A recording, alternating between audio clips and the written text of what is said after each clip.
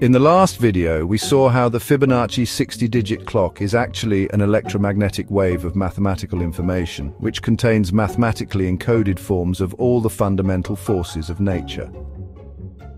In this episode, we will see what happens when the Fibonacci 60-digit clock, or wave of information, collapses into a perfect Pythagorean 90-degree hypotenuse triangle to be honest, this video will get a little technical. All you really need to know is that the Fibonacci wave of information collapses into a triangular particle used to construct the universe.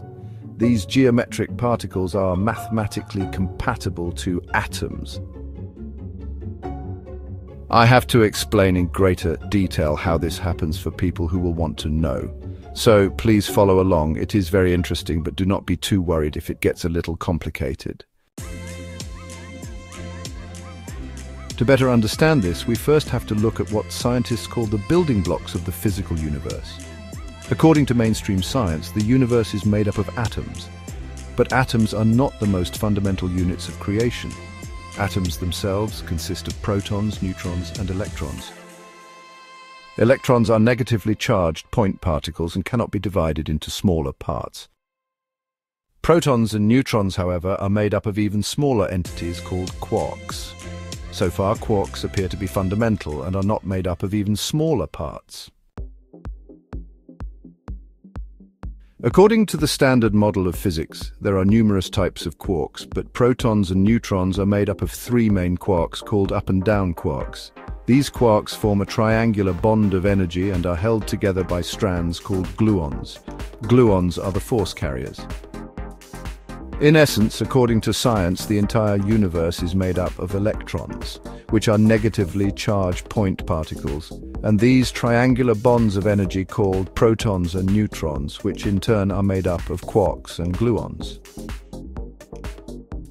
I won't get too technical. I simply want to give you an overall impression of the fundamental building blocks of reality according to science. Now, going back to our Fibonacci 60-digit clock. In the last video, I showed you how this circle of information is actually a wave of mathematical information that has an intrinsic virtual electromagnetic energy encoded into it. In part 9 of this series, we saw that this Fibonacci 60-digit circle or wave of information can collapse into a perfect Pythagorean 90-degree hypotenuse triangle in which a squared plus b squared is equal to c squared. The mathematical probability of this being random is too astronomical to comprehend.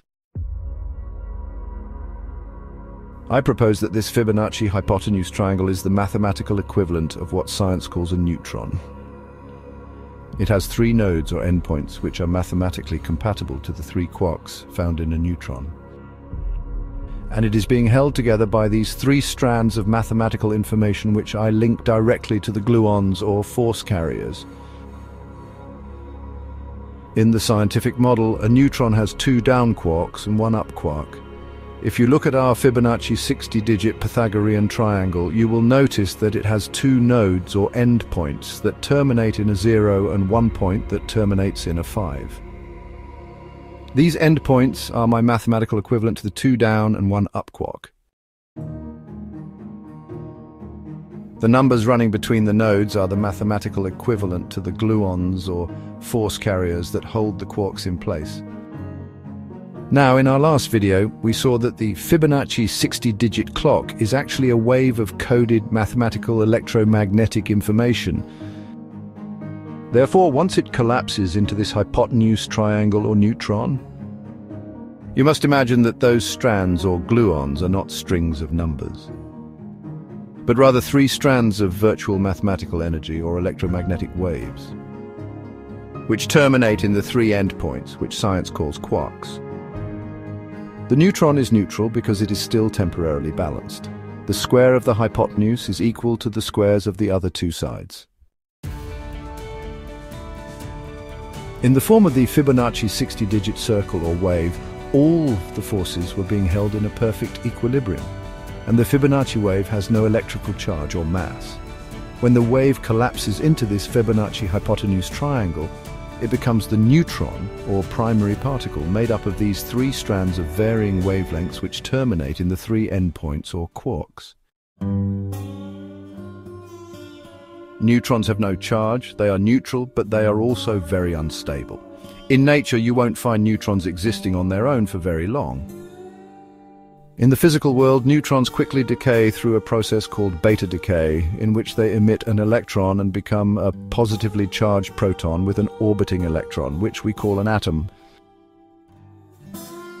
These are the fundamental building blocks of the physical universe. Everything you see around you is made up of atoms. Atoms are made up of quarks, gluons and electrons. Science cannot show you what these electrons or quarks look like, they can only describe them using complex mathematical equations. Where did these atoms come from? According to the Big Bang, these atoms simply popped into existence out of thin air. Science does, however, acknowledge that atoms are not made up of tiny bits of physical matter, but are in fact only vibrating quantized packets of energy. I maintain that these atoms are not real physical entities, but are, in fact, only virtual representations of an underlying mathematical wave of encoded information. The universe is therefore not a physical entity floating in space, but is, in fact, a virtual construct being generated by these waves of information encoded into time. We see the universe as being physically real only because we are made up of those same atoms or same encoded waves of information. What science calls positive and negative charge are only mathematically encoded bits of information with a programmed or simulated energy. The Fibonacci 60-digit clock, which mathematically represents the underlying electromagnetic field, collapses into the Fibonacci 90-degree triangle. This is the mathematical equivalent of a neutron and is the primary particle used to construct the world we see around us. Because the Fibonacci clock is no longer a circular wave, it is no longer held in equilibrium. It now has a tiny virtual mass, but still no electrical charge. However, this virtual particle is extremely unstable and quickly beta decays into a proton that has a positive charge and an electron that has a negative charge to form the most basic atoms. When scientists study the early universe, they see that it is made up mostly of hydrogen atoms. A hydrogen atom is an atom that has only one proton and one electron, with no neutron. Where did those atoms come from? They did not magically pop into existence out of thin air. They are, in fact, mathematically encoded building blocks created when the Fibonacci wave collapses into the Fibonacci particle. This collapse of the wave function is the basis of quantum mechanics and wave-particle duality. My mathematical model conforms perfectly with the scientific model. In the standard model of science, a neutron is made up of three quarks, two down and one up quark. These quarks are held together by gluons, which are strands of vibrating energy. In my model, these gluons are waves of mathematically encoded information. The neutron then decays into a proton and an electron. A proton has two up quarks and one down quark. This is what I imagine the mathematical equivalent of a proton to look like. Note how the endpoints terminate in two values of 5 and one value of 0. Those endpoints are my two up and one down quarks. To me, the electron is simply one of the connector points. Watch the earlier videos in this series to see how they connect. The fives in the Fibonacci 60-digit clock are the points where the Fibonacci wave can combine with other waves to form larger geometrical structures.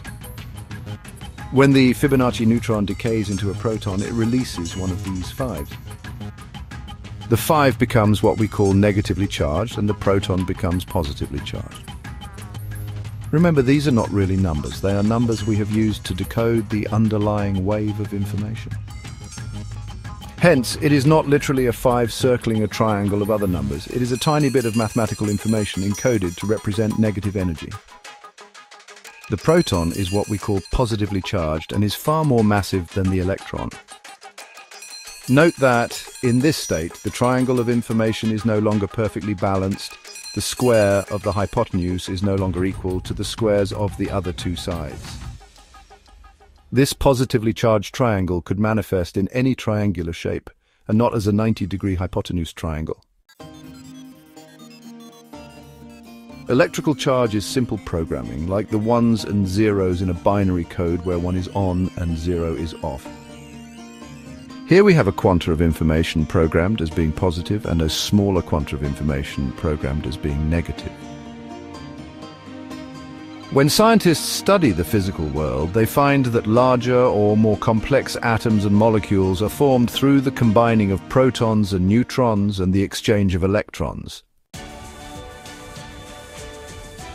In science, electrons are sort of the connecting points or linking points between atoms. In my mathematical model, the fives are my connecting points used to create larger, more complex geometric shapes. In the next video, I will show you how these triangular particles of information, or collapsed Fibonacci waves, are used to construct the larger, more complex objects we see around us. Basically, according to science, everything you see around you is made up of waves of energy in the form of atoms. I am saying that that energy is actually made up of waves of mathematically encoded information. The universe is a mathematical construct that did not simply pop into existence out of thin air. It is in fact an ingeniously super-intelligent mathematical creation. What does that really mean and how does that intelligent code originate? Click subscribe and keep following this fascinating journey to find out more. Incredibly, many modern-day scientists are now saying that the fundamental building blocks of reality may in fact be information and that the universe is computational. That is on par with what I am postulating. Click like and share these videos. Let more people contemplate this mathematical model of creation. It may be the key to unlocking our future.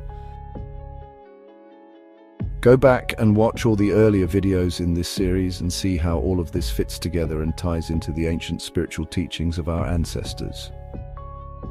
Many of them believed the universe was created through waves of time. Don't forget that the Fibonacci 60-digit clock is a wave of time. If I'm right, this mathematical model of creation is a bridge between the spiritual and scientific views of our world. Try not to form any strong opinions about where all of this is going until you have the full story. See you soon with more truly unique insights into reality.